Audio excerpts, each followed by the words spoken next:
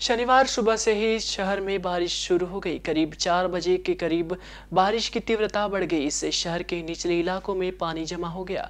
इसमें मुख्य रूप से पीली नदी, कलमना, नारा, नंदनवन स्लम नरेंद्र नगर भांडेवाड़ी, शिवशक्ति नगर, मानकापुर की बस्तियाँ शामिल है। भाजपा ने सत्रह साल तक नगर निगम पर शासन किया, लेकिन भाजपा ने नागपुर का विकास करने के बजाय शहर को बर्बाद करने का काम किया, जिसके कारण कुछ नागरिकों के घरों में पानी घुस गया। नागपुर ज़िले के पूर्व पालक मंत्री और उत्तर नागपुर के विधायक डॉक्टर नितिन राउत द्वारा आरोप लगाया गया है कि भारतीय जनता पार्टी ने विकास के नाम पर नागपुर की जनता के साथ धोखाधड़ी की है। नमस्कार, आज पहाटेपासूनच शहरात पावसाला सुरुवात झालेली आहे. चार वाजताच्या सुमारास पावसाची तीव्रता वाढली, त्यामुळे सकल भागात पाणी साचले. भाजपाने गेली सतरा वर्ष नागपूर महानगरपालिकेवर आपली सत्ता गाजवली. पण नागपूरचा विकास करण्याऐवजी शहराला उद्ध्वस्त केल्याचे काम भाजपाने केले आहे. आपण उपराजधानी म्हणतो राज्याची उपराजधानी. आणि राज्याची उपराजधानी भाजपाने अत्यंत उद्ध्वस्त करण्याचं मोठं पाप या ठिकाणी केलेलं आहे.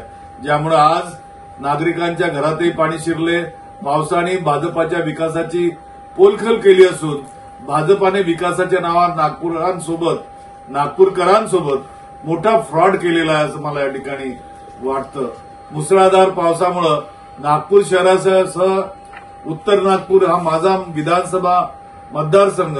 याही क्षेत्रामध्ये सगळे नाले तुडुंब भरलेले आहेत. नाल्यांची साफसफाई झाली नाही. आणि मोठ्या प्रमाणात या ठिकाणी लोकांच्या घरात त्या ठिकाणी पाणी शिरल्याने पाणी तुंबल्याने नागरिकांना त्रास सहन करावा लागतो.